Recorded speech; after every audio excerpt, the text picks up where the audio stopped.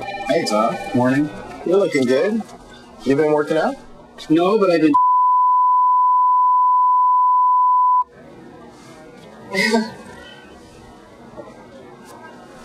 been.